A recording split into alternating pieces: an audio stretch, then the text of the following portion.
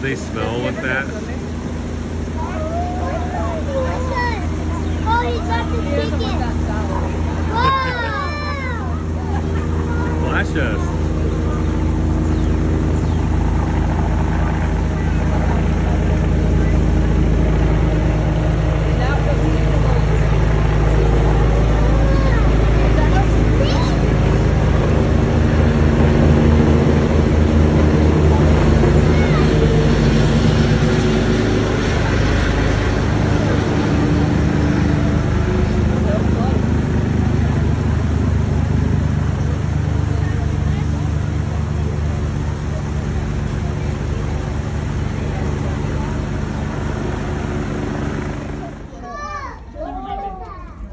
Well, don't hand on the glasses, please.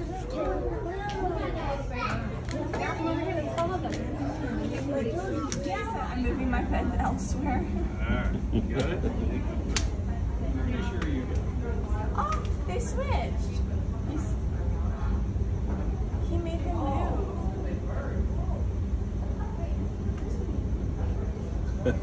Oh, what? They they like didn't even like barely communicate. He just knew to move his bed.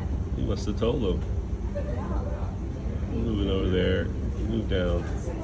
Oh, Rose, come and look at this monkey. Wait till you see this monkey. Oh, Hey He's there. looking back at like, you eating? Here? look at that one curled up though. There's a bug in there for him to Get the bug, get the bug, get the bug. Eat the bug, nothing. You eat the bug? Eat the bug. Look how that that was me. That that was me.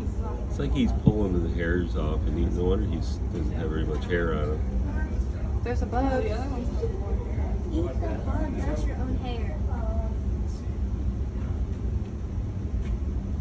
Oh, stop it. Oh, he doesn't like. he doesn't like Oh, bugs. Get away. Oh, it's going in your bed now. Oh, that's gross bug. No, he's like, I don't like this bug. meditation, fasting, simplicity.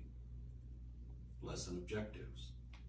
By the end of this lesson, we should understand the importance of the classical spiritual disciplines to spiritual formation, have a better understanding of these disciplines, begin putting these disciplines into practice.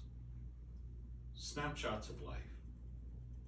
Christians living in difficult conditions. Daisy leads a congregation of overseas foreign workers, OFWs, in Paris. To survive financially, almost all of her congregation share small apartment spaces in quite crowded conditions. Most work very long workdays with very little time off. Most work very long workdays with very little time off throughout the year. Can spiritual formation happen even in these difficult conditions? Most Christians outside the USA live in overpopulated urban cities. Most live in poverty, trying to survive on $4 a day or less. Many deal with long commutes, sometimes two to three hours a day.